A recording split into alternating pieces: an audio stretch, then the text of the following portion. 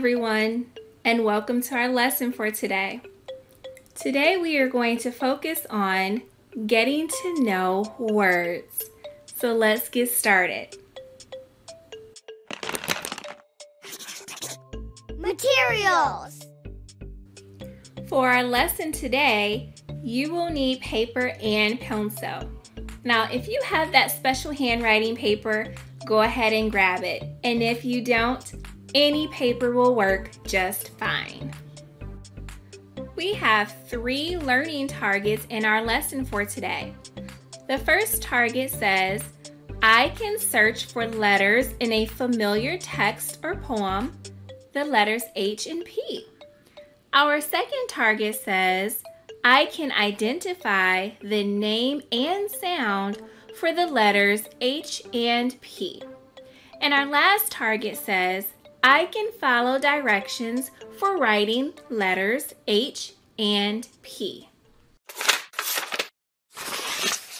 Read aloud. I am going to read a poem to you. The name of my poem is called A Pink Parrot Took My Hat. I want you to just listen closely and carefully as I read through the poem. I walked out of my house ready for the day when I saw a big pink parrot flying my way. The bird swooped down and took my hat, then gave my head a little pat. I was so surprised I just stopped and sat. Have you ever heard of anything quite like that? Now that I've read through my poem, I'm going to read through it a second time, but this time I want you to touch your nose anytime you hear me say a word that makes the p or the h sound. So we're looking for the letters P and H, and we're listening for the p and the sound. And remember to touch your nose if you hear me say any words that begin with that sound. Here we go. I walked out of my house ready for the day when I saw a big pink parrot flying my way. The bird swooped down and took my hat, then gave my head a little pat. I was so surprised I just stopped and sat. Have you ever heard of anything quite like that? Great job. I am going to read through our poem one more time. And I just want you to notice all of the P's and the H's that we can find in our poem. So here we go. I walked out of my house ready for the day when I saw a big pink parrot flying my way. The bird swooped down and took my hat, then gave my head a little pat. I was so surprised I just stopped and sat. Have you ever heard of anything quite like that? Nice job finding all of the P's and H's in our poem today. Sounds. Now let's say our letter sound chant to help us with those key words we've learned, the letters P and H. Remember those key words help us to unlock the sounds we hear. I'm going to say them first and then I want you to repeat after me. We'll start with the letter P first. P, p parrot. P, p parrot. Now let's do the letter H. H, h house.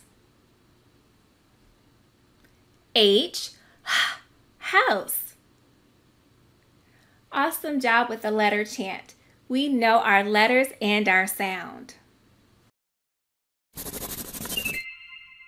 Writing. Now it's time to practice skywriting our letters P and H. We're also going to say the sound too when we write them. Watch me first as I practice the uppercase P and then you'll have a turn. Uppercase P. Down to the bottom, up, and a little bump. P. P. Now you try. Nice work. Now let's try the lowercase p.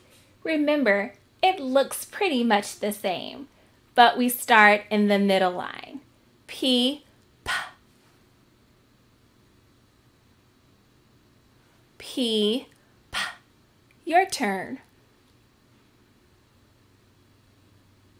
Great.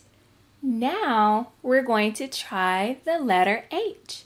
Remember the H says like in house. So watch me first and then you try.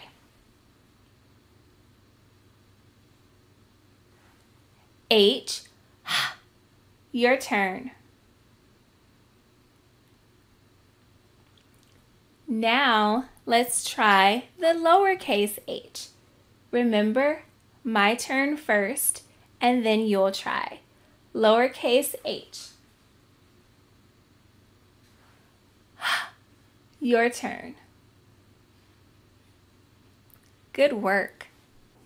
Now it's time to do some really fun learning.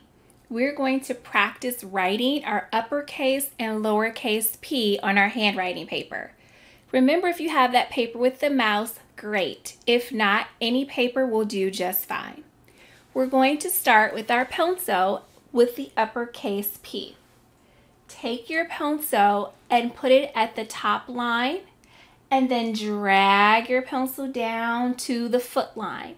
Pick your pencil up, go back up to the top line and make that bump right to the belly line. And we've made our uppercase P. Now we're going to try to make the lowercase p. It looks pretty much the same. We're going to start this time on the belly line.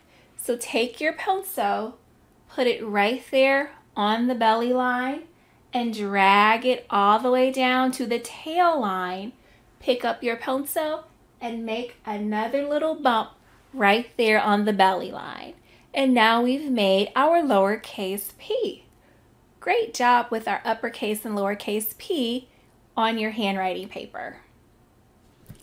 Now it's time to practice writing our uppercase and lowercase h. We're going to start writing our uppercase h first. Let's take our pencil and put it right at the top line.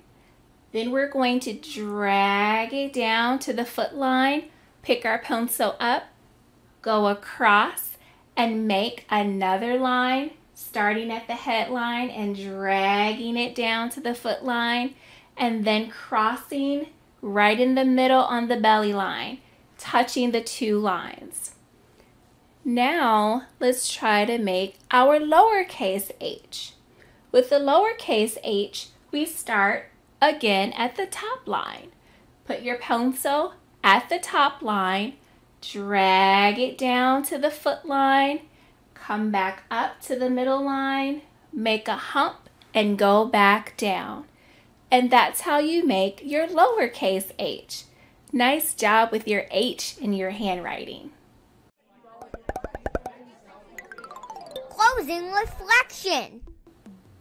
So let's reflect on our learning for today. I have two questions for you. My first question is, when we write the letter H, how can we remember where to start? And my second question is, how will that help us with writing? Great job thinking and reflecting about the letter H. Keep up the good work practicing writing the letters P and H. So it's time to say goodbye. I hope you enjoyed writing the letters P and H with me today. Thanks for joining me, and I will see you next time. Bye.